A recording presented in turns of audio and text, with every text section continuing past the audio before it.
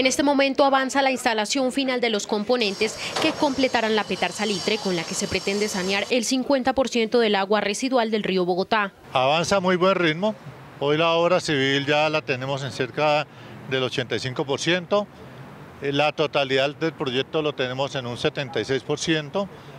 Ya han llegado todos los equipos procedentes de más de ocho países equipos eh, de toda índole que se requieren para el funcionamiento de la planta. Se espera que para noviembre del 2020 la planta esté en funcionamiento. Tenemos la buena noticia a los bogotanos que en diciembre de este año comience a hacerse en pruebas de la línea de agua y en marzo haremos pruebas de la línea de lodos para garantizar que a junio del año entrante, o sea, dentro de seis meses, eh, seis, ocho meses, la planta de tratamiento de aguas residuales del salitre sea una realidad para descontaminar todas las aguas residuales que generamos los bogotanos que vivimos entre la calle 220 a la calle 26, más o menos 3.500.000 habitantes. Esta obra es la más grande de saneamiento básico en el país y Latinoamérica. Necesitan un tratamiento muy preciso, un tratamiento secundario que garantice que esas aguas residuales puedan volver en buenas condiciones al río Bogotá y ese será el trabajo de la planta de tratamiento del salitre, la planta más moderna de Colombia, una planta que tiene una inversión de más de 480 millones de dólares.